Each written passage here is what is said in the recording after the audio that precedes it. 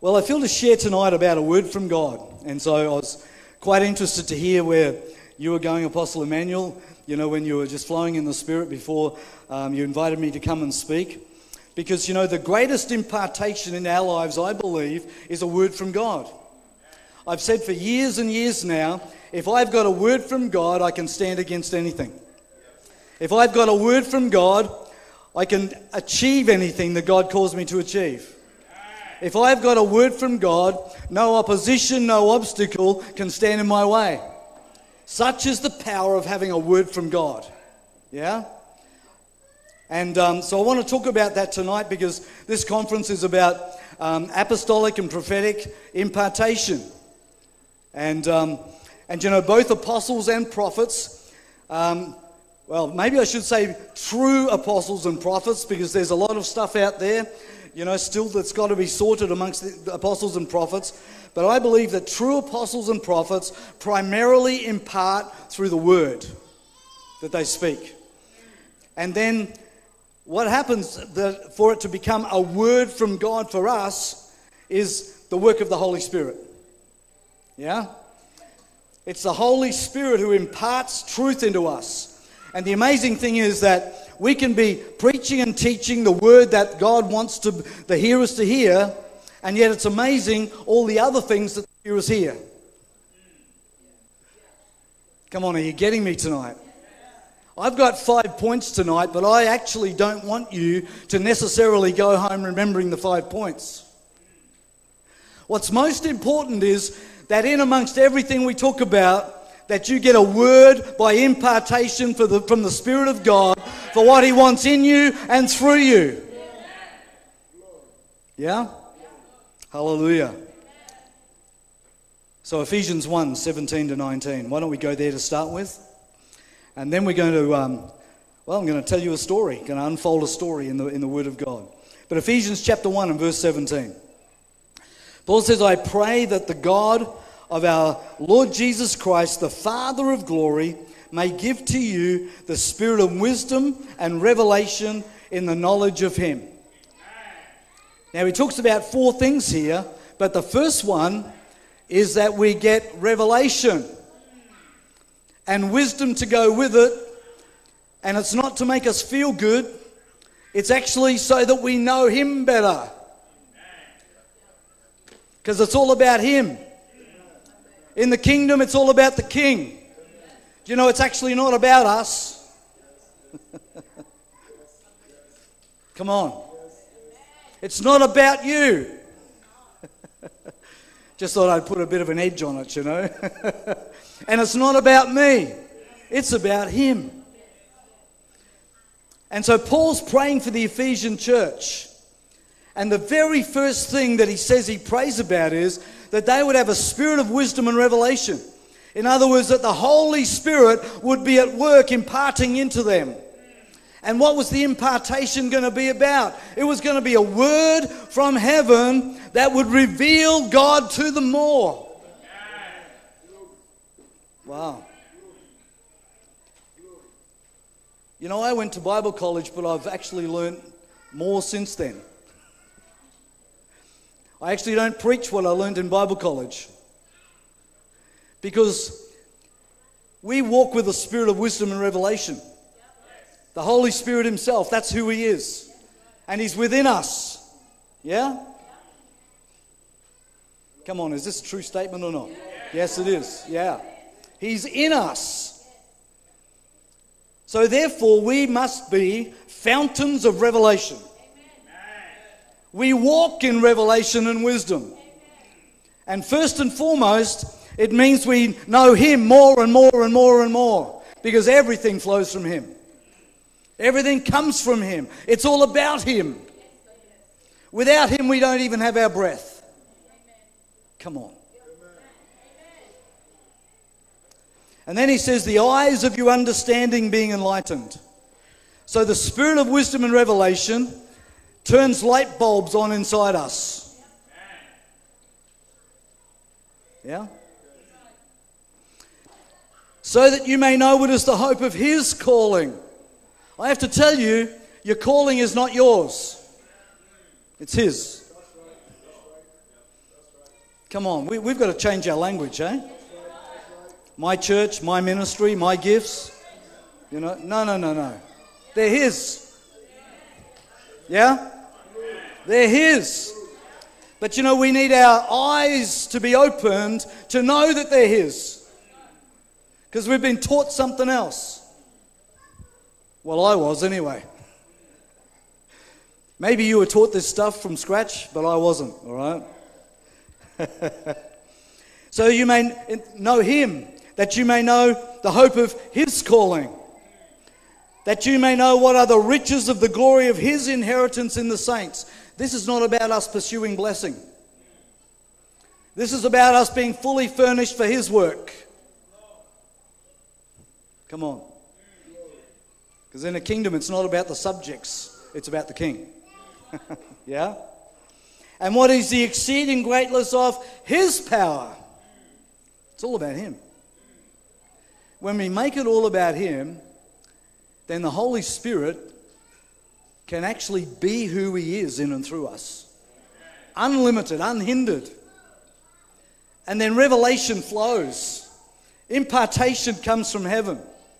Yeah? So, you know what? I want to pray again before we go any further. I want to pray that the Holy Spirit, who is the Spirit of wisdom and revelation, will so move upon us tonight that our mindsets will be changed. That it won't be about us anymore, it'll be about Him. Yeah?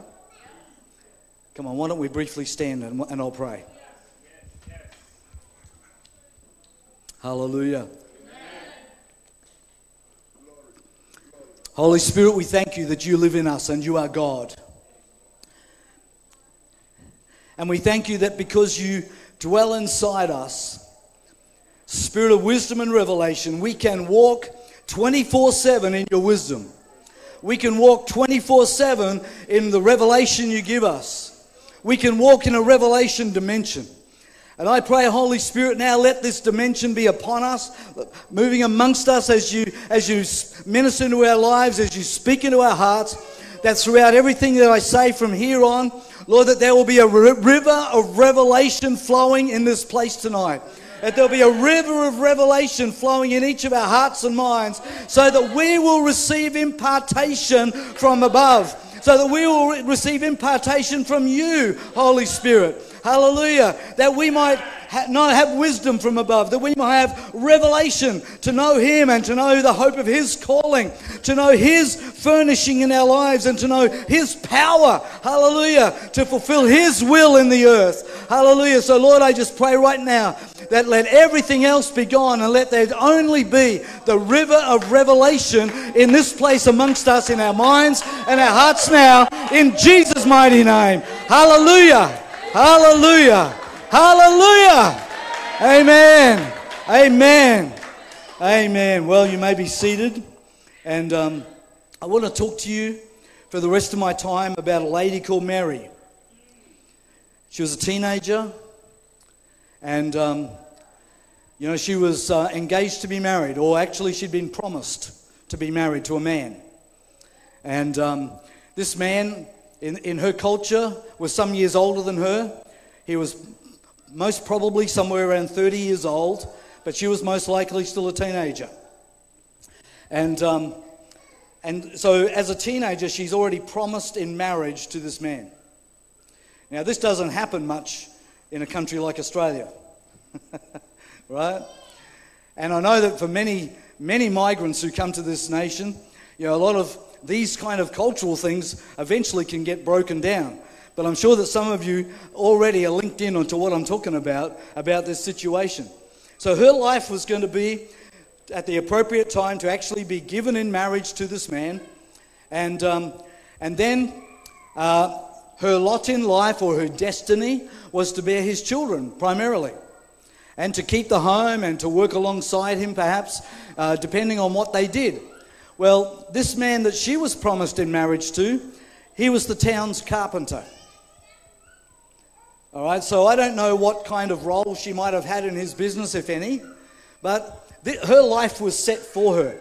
Her future was set in stone for her. By her culture, by her own family and by the fact that she'd been promised in marriage to this man, was going to bear his children uh, and was going to serve him, etc. But one day, God stepped into that picture. Come on. One day, God stepped into that picture. Because it doesn't, didn't matter what she thought her future was going to look like. What mattered was what her creator knew her future would be. Yeah? But it required an encounter with God, an impartation that would change everything about her. So let's go to Luke chapter 1. Luke chapter 1 and um, verse 29. And the way she encountered God was that God sent an angel to her. Now, I have to tell you something. I've had, uh, well, two, that, two uh, um, encounters with angels that I can think of right away, but I think there's another one as well. But you know something? None of the encounters with angels that I've had are any substitute for the relationship I have with the Holy Spirit. There's been a lot of crazy teaching over the last years about angels, but I have to tell you, they are serving spirits. They serve the will of the Father. They'll never be sons of the Father. The Holy Spirit who lives in us, He is way above angels because He's God. Come on. But at times, God uses angels in very unique and specific ways, all right? But I'm saying what I'm saying now so we don't get our focus shifted away from the work of the Holy Spirit, all right? Just the fact that this is about Mary encountering the angel. So what happened in, um, uh, in this encounter was uh, verse, sorry, verse 26 of Luke 1. In the sixth month, the angel Gabriel was sent by God to a city of Galilee named Nazareth to a virgin betrothed to a man whose name was Joseph of the house of David, and the virgin's name was Mary. And having come in, the angel said to her, Rejoice, highly favored one, the Lord is with you. Blessed are you among women. You know what? She'd not only never heard those words before, she'd never seen herself like that before. Do you know what apostolic and prophetic impartation does? It changes our perspective. This, this girl, you know, this teenage woman who was promised in marriage to this man, her, her destiny, her future was set in stone, apparently. But God sends the angel Gabriel who came and totally dismantled that whole picture. Yeah? All she saw herself of as was a Jewish girl growing up in Nazareth and her lot in life was to get married to who she was promised to. She didn't have a choice in it. And to bear his children, and there was life for her. I want to tell you something. I don't know what your picture of yourself is, but I'm betting it's not God's picture of you. yeah? You know, I, I, some of you know this. I, um, my parents were missionaries in Papua New Guinea for 20 years. You know, we were very poor during those times. Um, churches in Australia would help us, like at Christmas time, they'd send parcels. But you know what? It was always second-hand clothes. So over time, you start to form a picture of yourself. Yeah? And then when I was turning 10 years old, I was sent away from my family to come and live with a family in Brisbane that I did not know. So I could get an education here in Australia. I didn't see my family for two years. You know, those kind of things shape the picture you have of yourself, yeah? You hear what I'm saying? Yeah. Some of you have experienced way worse things than that. This young woman had a picture of who she was, but it wasn't what was in God's mind.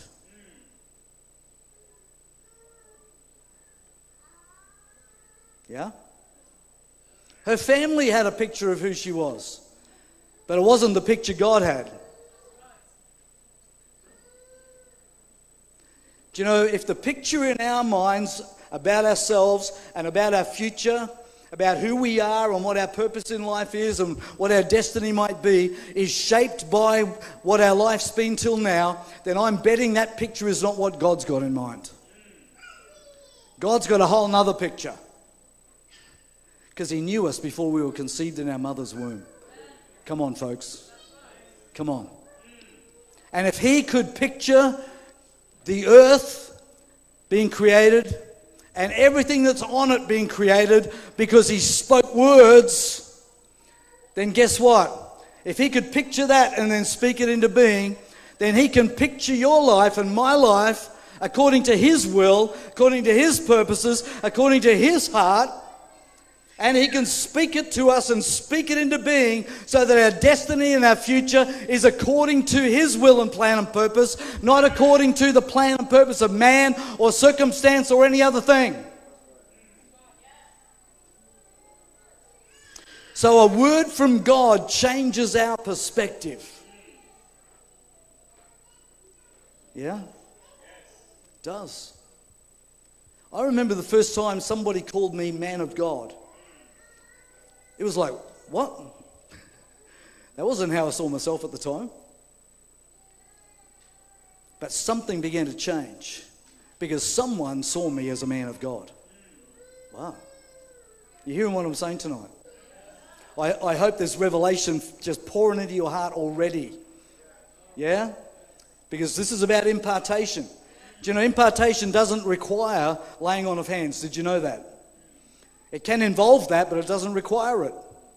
Impartation does not require being prayed for. It can involve that, but it doesn't require it. Impartation requires grace and the word being spoken, but in such an environment that the Holy Spirit's at work, like in creation, where the Holy Spirit was moving on the face of the water, and then God spoke a word. And boom, stuff happened. Do you know when God speaks a word to us about how He sees us? Boom, something changes. Our perspective changes. Our perspective of Him changes. Our perspective of us in Him changes. Wow. Our perspective of what the possibilities might be for the future change. Awesome, hey? Number two, a word of God, a word from God reveals favor. Many of you would have heard me preach many times that sons have the favor of their father. Yeah? We don't have to ask God for favor. I remember back in the 80s, there was, you know, I heard this teaching and I used to, you know, get into prayer and, oh, God, give me favor. And I look back on that uh, and I think, I wish I knew about sonship then. I don't have to ask God for favor, not with Him or with people. Right? We walk in favor because we're sons of our Father in heaven. His favor goes before us because we're His sons. And it's not just the favor to get good things, favor is actually mostly the enabling to fulfill His will and plan and purpose. When His favor goes before us, it prepares the way for us to step into His purposes and to outwork His purposes. Wow. So if we have an encounter with God, hear a word from God that changes our perspective of ourselves, and we begin to see ourselves the way He sees us, then what happens is that the word that comes alive in us actually reveals God's favor. We begin to see it. Let's look at the next two verses Luke 1 29 and 13. When she saw the angel, she was troubled at his saying and considered what manner of greeting this was. So she's confused. She's starting to panic a bit, right? Then the angel said to her, Do not be afraid, Mary. Well, that's a good start, isn't it? Don't be afraid. You see, if God sees us in a greater way than how we see ourselves, then there's nothing to fear. We can lay everything down and step into the picture that He has. Isn't that good? All right? Do not be afraid, Mary. Why? For you have found favor with God. The angel didn't say, Don't be afraid, just ask God for favor. He didn't say, Well, you, you might have favor with God, but you're going to have to work a bit on having favor with man. There was none of that stuff. He said, You have found favor with God. And I want to declare tonight that because of how God or the picture God has of us, we have favor with Him. We walk in His favor. No, no, and, and that's not, not because we deserve it, it's because of how He sees us. Wow.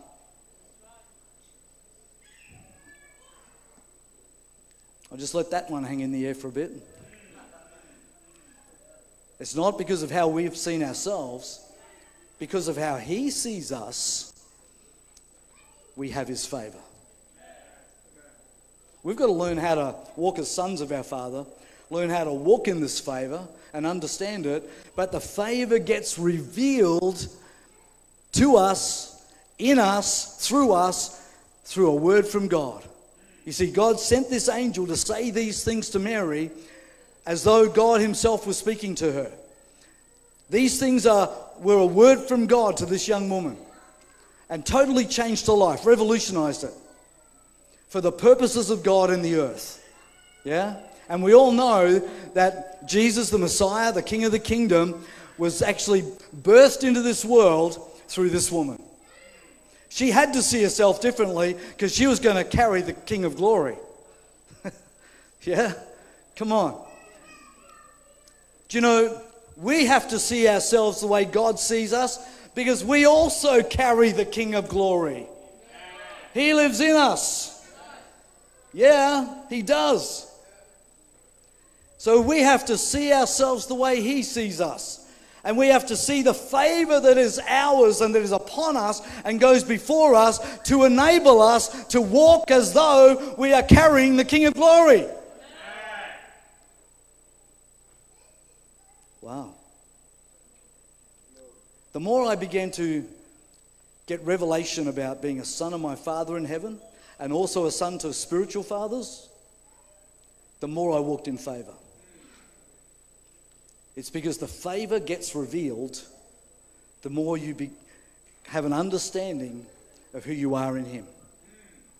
The more we see ourselves the way He sees us. Amen? Amen. Number three. A word from God establishes destiny. It establishes destiny. You see, Mary had a destiny already. Yeah? She did. She was going to be a wife and a mum. And by the way, there's absolutely nothing wrong with that, unless God's got a different idea. She did become a wife and a mum, but she had a far bigger destiny than being a wife and a mum. Yeah? Firstly, she was mum, you know, to the, the Messiah, the Savior of the world, the Son of God in the flesh. But you know, we read here in verse 31 to 33, the, the, the um, angel Gabriel says, And behold, you'll conceive in your womb and bring forth a son, and you'll call his name Jesus. And he will be great and will be called Son of the Highest. And the Lord God will give him the throne of his father David, and he will reign over the house of Jacob forever, and of his kingdom there will be no end. Oh, wow. All of a sudden, she's not just going to be a wife and a mum, she's going to actually be the mum of the person who's going to change the world. Like nobody else ever has, and like nobody else ever will. Yeah? So, question what kind of destiny might God have in his mind for us that we haven't seen yet? You see, if we can still only see the picture that is ours, then we're going to struggle to see God's picture. We're going to struggle to walk in favor. But also, we're not going to be fulfilling that greater destiny, perhaps. We might try to, yeah? But you know something? A word from God lifts us out of the mundane into the supernatural. A word from God changes up our destiny so that, you know, like she was still, she still became a, mum and a, a, a husband and a mum, right? And yet her destiny was so far greater than what she ever thought it would be. True? I'm still the son of missionary parents, but you know, I still sometimes you know, as the saying goes, have to pinch myself with what God has given me since I encountered Him and got a word from Him about what He had in mind. and the favor I could walk in if I learned how to be a son. Yeah? And the, the largeness of the destiny that he had in mind, which I had no clue about. You know, I was saying here recently that when I was a young preacher, my dream was to, to grow and lead a church of a thousand people. Because in the 80s, that was like a big deal. Do you know, if I had stuck with my picture of myself, I wouldn't have what God's given me today. Yeah? But a word from God changes it all. A word from God begins to unlock things that we've never seen before. A word from God begins to unlock possibilities we don't know exist. A word from God means that the future can be what God has always intended, no matter what people have done or said, no matter what failings or mistakes or sins we've done, no matter what our past has been or anything else. A word from God changes the future. Hallelujah. This woman has been blessed for generations, over centuries, because of what this word from God was that came into her life. That she will always be blessed among women. Wow. A teenager from Nazareth? You know, back in those days, the saying was, Can any good thing come out of Nazareth? You know? We used to say that about places like Inala and Woodridge, and, you know, can any good thing come out? So you know what I'm saying, right? I know that's terrible, but let's, we, we did, right? We said those things. well, in Jesus' time, it was, can anything good come out of Nazareth? Oh, yes. The King of Glory came out of Nazareth because this woman got a word from God. Yeah? Awesome, hey? All right? Just amazing when you, when you, if you get this revelation, because I know it's revolutionized my life. because this, this young teenage woman, she, is, she will be forever in history linked to the work of God Himself in the flesh on this planet. That was her destiny, not just to be a wife and mum. Amazing, isn't it? All right, number four, a word from God lifts us into the supernatural lifts us out of the natural into the supernatural. And those of you who have heard me you know, speak and teach over recent years, I can't get away from the fact that not only is God able to do exceedingly abundantly beyond what we ask or think, I believe, I've come to believe, this is how all of us are supposed to live in the kingdom. This is our destiny to live in the exceedingly abundantly beyond what we can ask or think. Anything less than that actually um, reduces what Christ has done. We are destined to live in the supernatural. We're destined to live in the as spiritual beings that just happen to be housed in a human body. Do you know why I say that? Because we are seated, not going to be one day, we are seated in heavenly places with Him. And where is He seated? At the right hand of God the Father. Wow. You see, we are destined to be lifted out of the natural into the supernatural, and we're supposed to stay there. You know, Paul said in Romans 8, You are not in the flesh. Everybody say that. I am not in the flesh. Say it again, please. And another time, please. You probably need to go home and say it into your mirror or when you're sitting on the loo or something about a million times until the Holy Spirit reveals it to you. Yeah? Because in our heads, we're all saying, oh, yeah, I'm saying the words, but yeah, I'm in the flesh. This is why we say, Holy Spirit, come, when actually He's already inside us.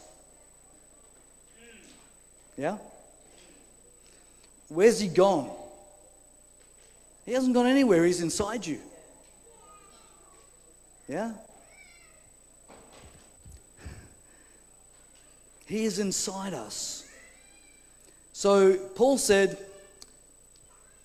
that it, basically he was saying if the Spirit's in you, then you're in the Spirit.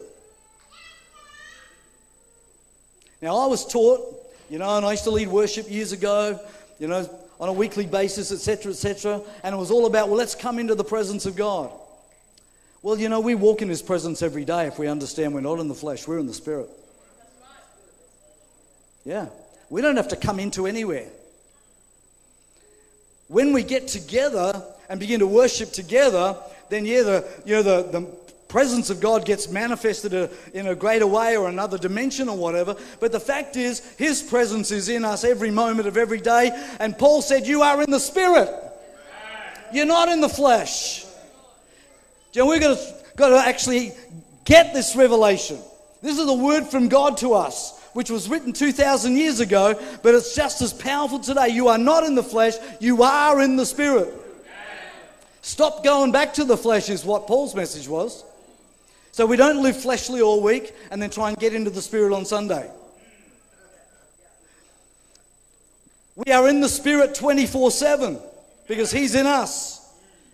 Yeah? So therefore, we have to stay on point and not go back to the flesh, not entertain fleshly things. But a word from God is what lifts us out of all of that, right, into the supernatural. And when we stand on that word from God, then we stay in the supernatural zone. Then we stay in the Spirit. My goodness. I wish the body of Christ globally could get this. Yeah? Because this revelation changes the game completely. It absolutely does. So a word from God lifts us into the supernatural, and we're supposed to stay there. That's where we're supposed to live. That's where we're supposed to walk. Amen? Whoop. I'm in the flesh there. Luke 1 34 to 37. The, Mary said to the angel, How can this be? I don't, I don't know a man. In other words, I'm not married to a man. I'm not having sexual relations with a man. And the angel said to her, The Holy Spirit will come upon you. In other words, this is not about your natural perspective. It's not about your natural thinking. It's not about anything in the natural. This is about the Holy Spirit. This is a word from heaven and it's about the Holy Spirit. The Holy Spirit will come upon you. The power of the highest will overshadow you. Oh, come on. Therefore, also, the Holy One who is to be born will be called the Son of God. Do you know what those words did? That lifted her out of you know, natural thinking, out of a natural perspective. It lifted her out of trying to figure it out like Nicodemus did, you know. How can I be born, you know, again? What's this all about? But see, Nicodemus didn't get a word from God that changed his life. Not in John 3, he didn't. But Mary got a word from God that changed her life forever. Wow. Yeah.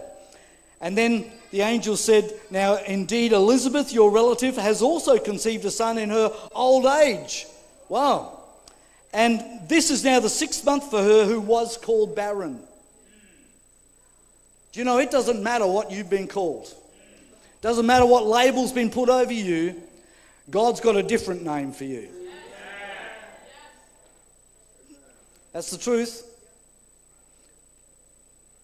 He's got a different name for you. And then he said, For with God, nothing will be impossible. Do you know, it's not impossible for us to live in the Spirit 24 7. It's actually where we're supposed to be. It's not just for some elite group to live in the exceedingly abundantly beyond what we can ask or think. That's where we're supposed to live because we live in the Spirit. Yeah? And so, what the, the uh, word from the Lord that was doing here was lifting her out of natural thinking, natural deduction, natural reasoning, and saying, let it, let it go. Let the Holy Spirit do his work. Because what you think's impossible is a breeze for him. In fact, what you think is impossible is what he wants to do. he wants to do the impossible. You know, Elizabeth got pregnant and had a conceived a son in her old age. And before that, she was called barren. Wow. But the Holy Spirit came upon her. Mary had never had sex with a man, but the Holy Spirit came upon her. And she conceived a son also. Wow. Both these women were lifted out of the natural into the supernatural. And this is the whole point about a word from God. If we've got a word from God, we no longer live naturally, we live supernaturally. If we've got a word from God burning in our spirit, we no longer think naturally, we think according to the Spirit. Because our minds are set on the things above, the things of the Spirit. Amen? Hallelujah. All right, the last one tonight. A word from God establishes us in God's purposes. All right? So, verse 38 of Luke 1. Then Mary said, So finally, Mary's got it. Finally, this word has become a revelation to her. Finally, things have shifted because of the word from God. All right? Mary said, Behold, the maidservant of the Lord. Who was she talking about? Herself. Now she's no longer a teenage girl promised in marriage, marriage to some 30 year old bloke as a carpenter, and her destiny is going to be wife and mother. Now she's saying, Behold, the maidservant of the Lord. She's now confessing what the word from God has transformed in her life. Wow. Behold the maidservant of the Lord, uh, of the Lord. And then she said, Let it be to me according to your word. Come on. According to his word. You know, when the Bible says it is written, then it's written in stone, it never changes. When God writes a word on our hearts, because the Holy Spirit speaks it, either through a prophetic word, through an apostolic word, through the teaching of the Word of God, or even sometimes then you know when we're just in a time of prayer or when we're crying out to God in a time of trouble it doesn't matter what the circumstance or the vehicle that it comes through a word from God will transform us. A word from God will lift us out of the trouble not just to have relief but so that we are seated in heavenly places and can live from victory and can live with authority and power. A word from God actually opens our eyes so that we can see Him for who He is to us. We can see who we are in Him. And a word from God opens, uh, changes our perspective. A word from God lifts us out of the natural into the supernatural. So we walk as sons of the Father in His favor. The word from God establishes the destiny that He has determined for us. And a word from God establishes us in His purposes. Hallelujah. Do you know, I don't need another prophetic word, and I'm not being negative about prophetic words by saying that. All right? But I can tell you I don't need another prophetic word. Because the words that have been imparted into my life in all kinds of ways have produced what I've talked about tonight. And this is for all of us. I can only preach this because it's my experience, it's my walk with God. So this is not theory tonight. right? Some of you know, but some of you wouldn't know. I now have, we, we now have um, apostolic network in 22 nations. And by the way, we are doing nation building projects that over time are going to revolutionize some of those nations. God's given us strategies in partnership with you know, our covenant brothers, our sons in the faith in these nations. Do you know, back in the 80s when my dream was to have a church of a thousand people, Man, I didn't see what God saw. Come on. But a word from God begins to change it. And then a further word builds on it, and another word builds on it. And when you've got a word from God, then you, your direction is set. Yeah? And if we'll simply understand that we are in the Spirit, not in the flesh, then we can stand on the word that God's spoken into our hearts with all confidence and with all humility and with patience because that word's going to get tested. The Bible teaches us that. It does, it gets tested. So, you know, you get this great prophetic word over your life from somebody, and then next thing you're going through hell. Most of the prophetic people don't tell you that might happen. But let me tell you, that's most likely going to happen. Because we've got to learn to get that word into our spirit and stand on it. You know, Mary had some times when she wondered about what was going on with Jesus, yeah? But then there was other times like the wedding at Cana when she said to them, "Whatever he tells you, do it." Where did that come from? It came because she had this word in her heart. She carried it in her heart. It was built deep inside her, its roots went deep. Yeah? So that no matter what happened, that was the thing that gave her focus. That was the thing that caused her to rise up. That was the thing that caused her to have faith and trust in God. Amen?